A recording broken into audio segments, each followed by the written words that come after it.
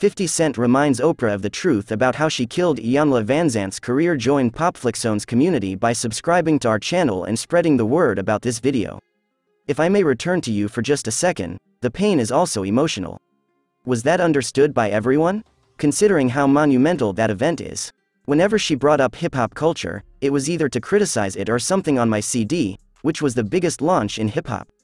Oprah Winfrey, who has amassed an empire across multiple platforms, is truly unique and may be considered a queen of media.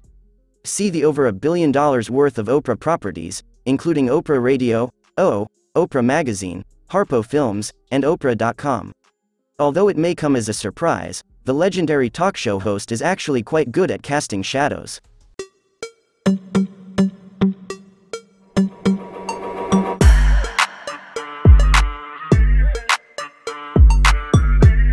Whether she's interviewing a member of the general people or a member of the royal family, the TV personality is known for her sympathetic approach and her advocacy of kindness. She also helps individuals financially and with self help. Plus, she has a slew of humanitarian accolades to her name. Oprah still has her low points, despite being a character reminiscent of a fairy godmother. The media queen has a history of destroying the careers of people she views as threats. 50 Cent, a rapper turned film producer, recently gave a chilling encounter about how she ruined the career of famous author and spiritual teacher Iyanla Vanzant, in addition to mocking Hollywood legends and belittling supermodels, making political jokes, and revealing family conspiracies. Vanzant is a spiritual teacher, TV personality, and author of African American descent. Her work, inspired by the horrific tales she had as a child, serves to uplift and encourage people of color. Poverty, loss, and abuse were all parts of Vanzant's difficult childhood. The feisty black woman she is now is a product of her formative years, which were marked by both triumphs and tragedies. Vanzant faced an excessive amount of sorrow and misfortune throughout her childhood, and she has used these experiences to teach millions of people a valuable lesson. On her TV show, the author opened up about her experience of being raped by a family member. She claimed that she was a neglected child living in their home and that she cried out for love. Her determination to aid and liberate others was driven by the horrific experiences she had as a youngster. While still a young adult, Vanzant left her husband and went to law school. After three years she worked as a public defender in Philadelphia but she turned to literature after failing to find fulfillment in law. In 1992, she produced her debut book, Tapping the Power Within A Path to Self Empowerment for Black Women, which would go on to win numerous accolades and pave the way for her subsequent work. More than 30 works spanning spiritual, psychological, and ethical themes have been penned by her since then. For instance, in his 2015 book Trust, Mastering the Four Essential Trusts, Vanzant guides readers through a variety of moral and ethical dilemmas, including dealing with a sibling's theft and other forms of familial betrayal. Do you want to find and claim peace, or do you want to be correct about how wrong they were? That is the question Vanzant addresses in her book. Her second profession as a writer garnered media attention for her work, which she devoted herself to saving. She met Oprah as a visitor in this class and went on to host her popular show afterward. Oprah fired Vanzant as her popularity skyrocketed, and the writer went on to launch her own talk program.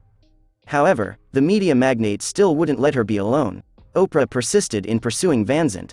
What really happened between two of the most well-known and significant black women in the world was eventually revealed by the renowned author, years after the fact. The partnership between the award-winning novelist and Oprah Winfrey ended due to a failure to communicate, but the author was impressed by the fact that the two were able to repair their connection. Oprah and Van Vanzant became friends after reading in the meantime in her book club. The TV broadcaster continued by inviting the celebrity on her 1998 talk show. While G. Van Vanzant was hosting Oprah's talk program, the Iyanla Fix My Life star confessed to breaking certain protocols, the same ones that 50 Cent says Hollywood gatekeepers like Oprah employ to control people. According to Vanzant, who claims to have spent her childhood in the ghetto, she told The Breakfast Club in May 2018 that she broke several industry rules due to a lack of knowledge. There was no supervisor over me. I was unrepresented. I was ready to approach strangers and strike up conversations like if we were at Key Food. I was falsely accused of leverage because people in this industry failed to comprehend that aspect of my personality. That stuff was completely foreign to me. I merely expressed my desires.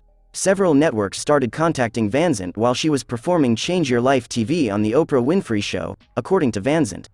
She then began to consider hosting her own show, but she insisted on doing it with Oprah, However, she claimed it was poorly received when Vanzant approached her about it. According to Vanzant, I was just being innocent and foolish when he asked, but the response was negative, leading to a rift in contact. However, we were successful in fixing that. 11 years passed. They implied I wasn't prepared, but they never told me so. So I'm arguing that we should be able to do it here if they're asking for me. After leaving O's show to host her own at ABC, the Life Coaches show was ultimately cancelled. According to several people in the know, Oprah was heavily involved in the decision to discontinue the show. After then, the ex-lawyer worked off the air for a while. Vanzant, who was invited to the Oprah Winfrey Show in the last 25th season to voice their complaints, became a part of Oprah's Life Class show when she and Oprah worked over the breakup 11 years later. The rich business magnate, however, advised Vanzant to obtain her own software. As a result, the OWN network, which was formed by Oprah, became synonymous with Iyanla Fix My Life. Famous people including DMX, Hazel E., a reality star and rapper, and Karrueche Tran, an actress and model, have sought her assistance on that show in an effort to improve their life. Following the airing of the second episode, Tran expressed her sorrow over appearing on the show on The Angie Martinez Show. I didn't understand. I am not sure, Tran stated in 2017.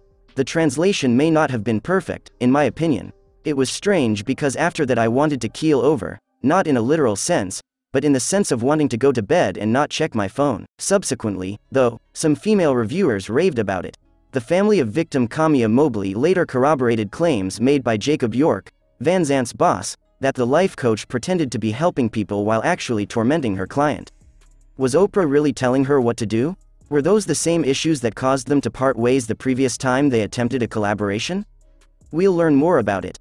Similar accusations were leveled by fans against Vanzant after Tran's episode aired. What transpired on the show, however, was perceived differently by Vanzant. They sought us out. I didn't approach them, she said. Locks are not present. Gates are not present. We were at her residence. I was not irritated by her. They approached us believing that appearing on my show would catapult her to new heights. Plus, I'm not into marketing or publicity, so they were surprised to see that I don't play when they arrived. York also attempted to drag it out of Tran when I asked him some tough questions. They aspired to do the same kind of crafting and building that I did. This is the reality. According to her, I abandoned her. By removing her from the room, he made it clear that he did not want to be asked these questions. I departed. I was prompted to respond by them.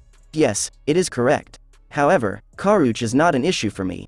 I do not believe that her management had her best interests in mind throughout that period. Now see where she is. Vanzant also had an intense interview with the late DMX, a rapper famous for taking on industry heavy hitters. There was no denying DMX's skill, just as there was for Vanzant. However, following his passing, additional details regarding his difficult upbringing and its enduring effects were disclosed. His lengthy history of substance misuse and rehabilitation stays is well known to his fans. The addict's vulnerability shone through during X's appearance on Iyanla, just how horrible things were at one point, fix my life. According to Vanzant, X had an anointed spirit even if he had some misfortunes. In 2013, X made an appearance on the show. This was all in an effort to mend fences with his eldest son Xavier, who had grown distant from him as a result of his father's drug problems and the way he had treated Xavier's mother. It became more apparent as the show went on that X's anger and addiction were controlling him.